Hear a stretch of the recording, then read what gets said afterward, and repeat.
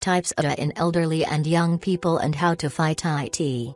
Forgetting the important things in our everyday life is a very common problem faced by many of us for example forgetting the time of an important important appointment or paying bills before the last date or even leaving an important document at home before leaving for office. For these activities there are no natural reminders and therefore they seem to be problematic for elderly people to cope with this age-related deficiency. This is called amnesia when an individual fails to remembers things they should remember usually. However, this may be a problem for the young people and they may forget things like returning a book borrowed from a friend or forgetting the deadline of a project. It is normal to be forgetful as we grow older as our nervous system is affected by various factors viz job stress or family problems etc. But it may be a matter of concern when your forgetfulness gets worse day by day and you should seek medical help for this problem. Types of amnesia. According to medical science there are mainly three types of memory loss based on the symptoms, family history of a patient and the intensity of problem. 1. Immediate memory dash any kind of sound or image that remains in the memory for a very brief period of time.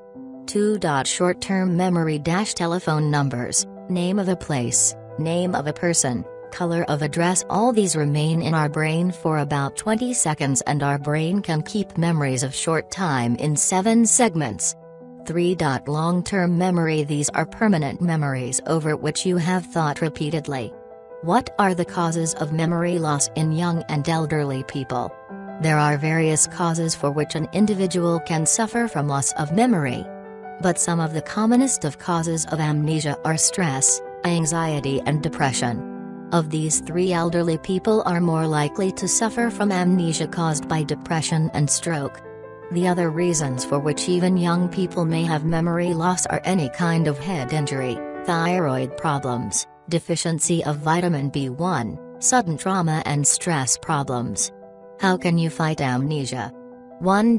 Try to maintain a diary at home and at your workplace to keep you reminded of your important meetings and things to do. 2.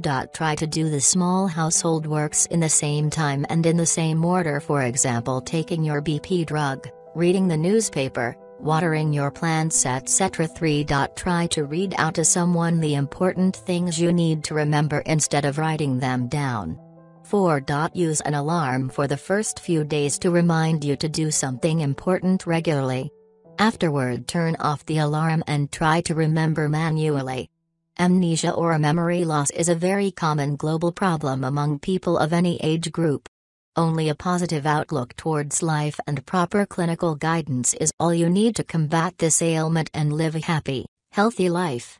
Thanks for watching and subscribe to the channel for more health tips and videos. Stay tuned.